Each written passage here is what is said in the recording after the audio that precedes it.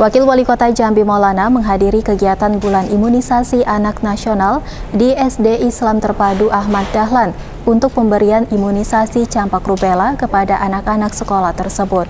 Dalam hal ini Pemkot Jambi menargetkan 80% realisasi untuk imunisasi tersebut. Wakil Wali Kota Jambi Maulana menghadiri kegiatan bulan imunisasi anak nasional di SD Islam Terpadu Ahmad Dahlan guna memberikan imunisasi campak rubella kepada anak-anak di sekolah tersebut.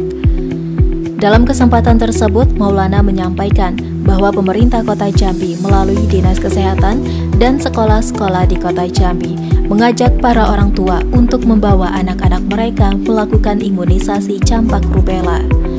Untuk di Sekolah Islam Terpadu Ahmad Dahlan, pemerintah Kota Jambi menargetkan sekitar 250 anak-anak yang akan melakukan imunisasi campak rubella ini.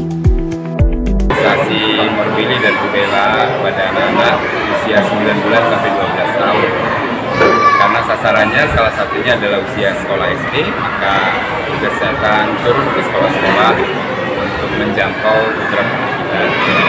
Pada yang bunda di Jambi yang memiliki putra putri antara 9 bulan sampai 12 tahun. Agar mengajak putra putrinya untuk diimunisasi bagi yang usia sekolah akan dilakukan di sekolah-sekolah.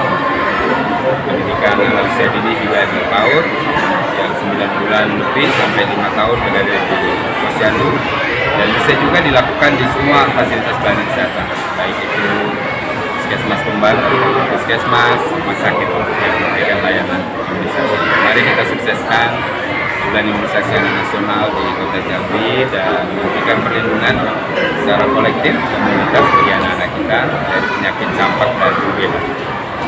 Pemerintah Kota Jambi menargetkan terkait imunisasi campak rubella ini sekitar 80% anak di Kota Jambi yang akan melaksanakan imunisasi tersebut. Sandi, Cek TV, melaporkan.